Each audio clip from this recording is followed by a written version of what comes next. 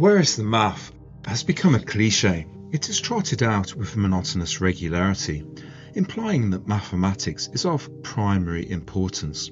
I hesitate to call it a legitimate question, not least because it is generally delivered in a rhetorical tone and accompanied by an enlightenment smirk. Tiresome as it might be to hear, it highlights three major problems in standard cosmology today. Firstly, math isn't science and science isn't math. Sure, math is important, but the point is that it should follow the science, not lead it. Building science on math is putting the cart before the horse. Good math can support science, but relying on it alone is like trying to run a business with only accountants and no realistic business model. Quote, we have to learn again that science without contact with experiments is an enterprise which is likely to go completely astray into imaginary conjecture. Close quote. Hannes Alfvén, the father of plasma physics and plasma cosmology. In short, math should be ancillary, not dominant. Secondly, supporting Alfvén's contention that experimentation should always be king, history shows that assumptions rooted in math have often been wrong. Epicycles are a classic example. Planetary orbits were once believed to be perfect and circular. When this was proven false, a mathematical workaround was devised. Imaginary points were placed on the original circular orbits, creating additional orbits. This gave rise to epicycles, from the Greek epikulos, meaning circle moving on another circle. Although mathematically elegant, this model failed to reflect reality. Consider also the amusing case of the Wright brothers. Early last century, Scientific American dismissed their alleged flights years after they had been flying successfully. The magazine's certainty was based on the prevailing wisdom at the time that heavier than air flight was impossible because, well, the math said so. Thirdly, the emerging plasma universe paradigm emphasizes the importance of plasmas and electromagnetism over gravity on the cosmic scale. Space is teeming with both, posing a significant challenge for theoretical physicists because plasmas and electromagnetism are difficult to model mathematically. Hannes Alfvén emphasized that plasmas stubbornly refuse to obey the elegant laws of mathematics, no matter how highly regarded. While math-based equations may work for ordinary gases, plasma is a state of matter beyond solids, liquids and gases where electromagnetic forces dominate, and at least 99% of the universe is comprised of plasma, so called because of its lifelike and self-organizing properties. The importance of mathematics is not denied. In summation, the point is that the math should follow the science rather than building the science on idealized mathematical models and selectively interpreting data to fit. Again, math should be supportive, not dominant. Mathematical proofs. The dominant role of mathematics in modern cosmology has spawned another common misconception. While proof is a valid term in mathematics, as in a mathematical proof, it has no place in empirical science. The phrase scientific proof is a misnomer because scientific theories, by definition, can never be conclusively verified, only conclusively falsified. Proof implies a result beyond doubt, whereas scientific theories must always be vulnerable to falsification and subsequent replacement by new or improved theories. In short, science must resist becoming ideological. Mathematical proofs, therefore, do not equate to scientific truths. Although scientific theories can undergo extensive testing and verification, they are never set in stone, despite what some true believers might tell you. Quote, it is conceivable in principle that the basics of the Big Bang model an expanding universe that was much hotter and denser in the past are somehow wrong, but the chances are so infinitesimally small that it's just not worth the bother. Close quote. Sean Carroll, John Hopkins University. Furthermore, mathematical descriptions are often mistaken for empirical explanations. Isaac Newton, for instance, described gravity as an instantaneous force, but admitted he did not understand its mechanism he had to settle for a mathematical description. Albert Einstein later redefined gravity as a property of curved space. but has he merely replaced a mathematical description with a mathematical abstraction? According to the mathematician John Wheeler, quote, Matter tells space-time how to curve, and space-time tells matter how to move. However, as Wal Thornhill pointed out, these are metaphysical terms. Quote, the words space-time and tells are physically undefined. It isn't physics. Close quote. Quote, Today's scientists have substituted mathematics for experiments, and they wander off through equation after equation and eventually build a structure which has no relation to reality. Close quote. Nikola Tesla. Hero or villain? Although Albert Einstein enjoys cult-like celebrity status in popular science, he also has many critics. In a recent blog, I explored whether he might be more sympathetic to his detractors if he was still around today, and I posed the question in all seriousness. I am no Einstein, he once joked in response to the adulation that began in his lifetime. Listening to the talking heads paraded on television, you might get the impression that relativity is beyond question and represents the pinnacle of human achievement. Listening to what Einstein himself had to say, though, might leave you with a very different impression. Quote, Since some mathematicians have invaded the theory of relativity, I do not understand it myself anymore. Close quote, Albert Einstein. He went further. Quote, as far as the laws of mathematics refer to reality, they are not certain, and as far as they are certain, they do not refer to reality. Close quote. Consider too this confession he made later in life. Quote, you can imagine that I look back on my life's work with calm satisfaction, but from nearby it looks quite different. There is not a single concept of which I am convinced that it will stand firm, and I feel uncertain whether I am in general on the right track. Some institutional scientists attempt to spin the latter quote as a positive, alluding to the fact that doubt is important in science which is ironic given that questioning relativity is considered heretical. Adding to the malaise, black holes are frequently hailed as one of the best predictions of general relativity, despite Einstein himself dismissing the idea.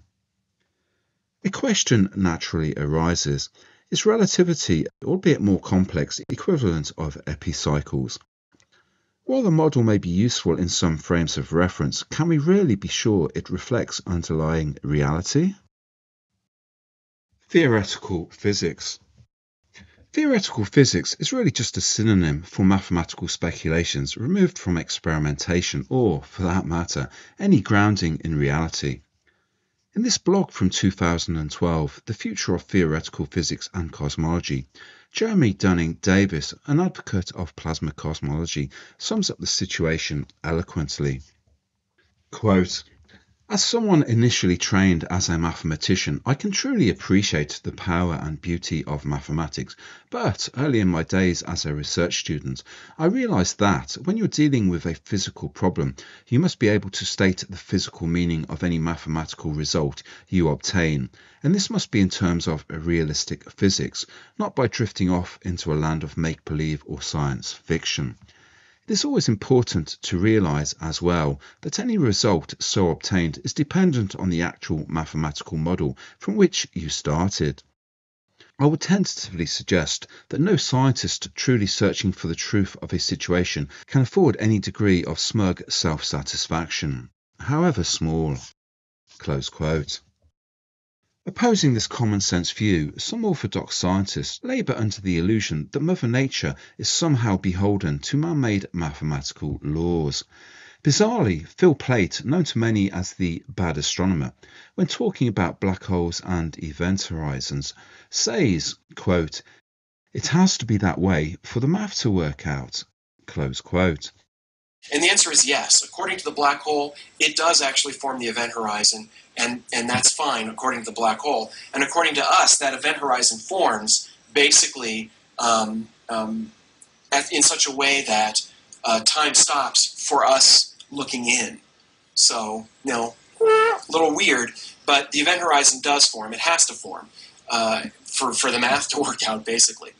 Mind you, in fairness, Plait does add, quote, It's weird how black holes play with our sense of what's real and what isn't, and what makes sense and what doesn't. But that's why they're fun, right? Besides the fact that they're hugely destructive and just cool. Close quote.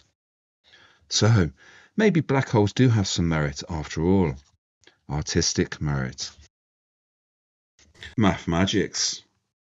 Whether you call it bias confirmation ideology or math magics, creative math often serves as a perfect tool, forcing square pegs into round holes. Gravitational lensing is a prime example. According to orthodox science, mass is said to bend space and time. However, Edward Dowdye has provided a straightforward alternative to the lensing effect attributed to general relativity. Dowdye, a physicist and laser optics engineer who previously worked at the NASA Goddard Space Flight Center, developed a model based on simple refraction. He presented his findings at the EU 2012 conference. Dr. Dowdye notes that observations of solar lensing occur in the plasma ionized atmosphere of the Sun, aligning with the predictions of refraction rather than with varying elevations from the mass of the Sun, as suggested by gravitational lensing. Additionally, he emphasizes the absence of gravitational lensing effects in stars that orbit rapidly around the Milky Way's galactic center, further challenging the conventional interpretation. Quote, Evidence of gravitational light bending at the site of Sagittarius A, as is predicted by the light bending rule of general relativity, is yet to be observed. Dr. Edward Dowdye. Ranatesh Gupta, a professor of electrical engineering and technology at Lucknow University, India, has arrived at the same conclusion independently. From his paper, quote, it is suggested that gravitation is only between material bodies and that the zero rest mass photon is unaffected by gravity. The alternative novel approach to explain phenomena such as the bending of light near a star and gravitational red-blue shift is based on the refraction phenomenon of optics. The new approach could have an important bearing on our understanding of space-time, gravity, and cosmology. Close quote. School children the world over know that if you put a stick in water, it will appear to bend due to refraction. We also know that the atmosphere of planets and stars is more dense than the space between them. In other words, why resort to esoteric hypotheses when simplicity will suffice? The principle of KISS, keep it simple, stupid, comes to mind. The language of the universe. If you try Googling the question, is math a language, you get numerous strong but conflicting opinions from academic and professional sources. Gravitational lensing reminds us that mathematics, while seemingly objective, is still a product of human thought. Although math may, on occasion, describe nature with precision, the way we apply and interpret mathematical models can be subjective. So, while math is sometimes described as the language of the universe, it seems a lot can be lost in translation. Boiling frogs. We've all heard the boiling frogs metaphor. Put a frog in boiling water and it will jump out. Put it in cold water and heat it gradually and it will die cooking. Could this help explain why brilliant minds like Stephen Hawking failed to recognize problems inherent in a math-only approach to physics? Did anyone ever ask Hawking this one simple question? Is mathematics really an infallible tool for establishing universal truths? Pulling no punches. Stephen Crothers, a noted mathematician from Tasmania, offers a more blunt perspective on figures like Stephen Hawking. He is recognized as a leading critic of general relativity and black holes and does not mince his words when evaluating their work. Quote, Hawking was a pop scientist who ipso facto contributed nothing of value to science. Einstein was the first pop scientist, promoted at some time or another by that other entertainer, Charlie Chaplin. Hawking and the Einstein cult have ruined physics and astronomy, turning them into circus freak shows. Science cannot just wait until they all disappear. Whilst they are active, they are ruining young minds entering science to be caught up in the same rat race, producing more pop scientists. The cycle must be broken. Close quote.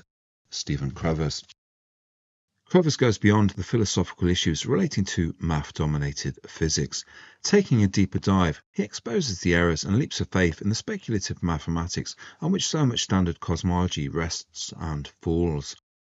In short, there is no longer any hiding place for the ideologues.